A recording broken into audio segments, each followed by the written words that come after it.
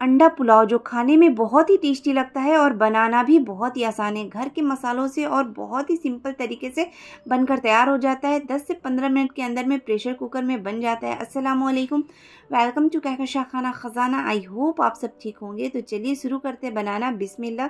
सबसे पहले एक प्रेशर कुकर ले लिया। कुकर में मैंने तीन से चार चम्मच ऑयल डाला है।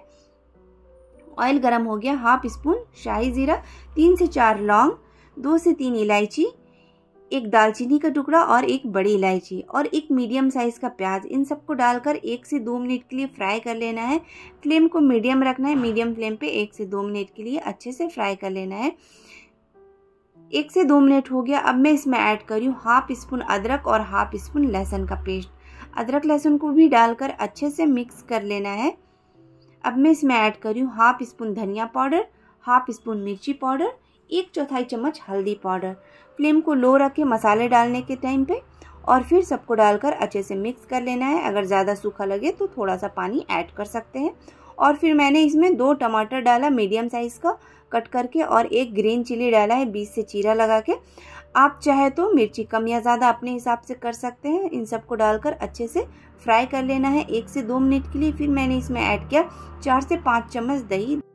दही डालने के बाद अच्छे से भून लेना है, फ्लेम को हाई कर लेना है, हाई फ्लेम पे फटाफट कच्ची चलाते हुए।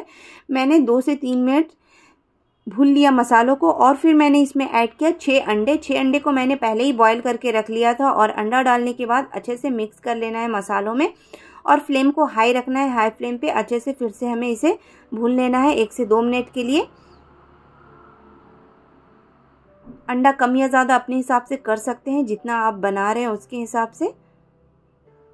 अब मैं इसमें ऐड कर रही हूँ एक चम्मच नमक और एक चौथाई चम्मच गरम मसाला। नमक आप अपने टेस्ट के हिसाब से टेस्ट करके ऐड कर ले।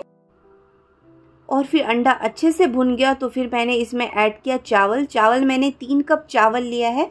चावल को मैंने आधा घंटा पहले ही भिगो कर रख दिया था, फिर चावल डाला। चावल डालने के बाद मैंने इसमें तीन कप चावल है तो मैंने इसमें छः कप पानी डाला है। ध्यान रखें, चावल अगर पुराना है तो उसमें बराबर पानी डालें, तीन कप चावल है तो छः कप पानी डालें। अगर चावल नया है तो फिर तीन कप चावल में पाँच कप पानी डालें। फिर थोड़ा सा धनिया पुदीना डाला ऊपर से। पानी का मेज़रमेंट सही रखें, एकदम परफेक्ट पुलाव बनेगा और थोड़ा सा नींबू डाला। उसके बाद मैंने हल्का सा चलाया। बार बार चावल को चलाने से चावल टूट जाता है तो हल्का सा मैंने हिला लिया और फिर कुकर में ढक्कन लगाकर इसमें दो विसल लगाया है हाई फ्लेम पे।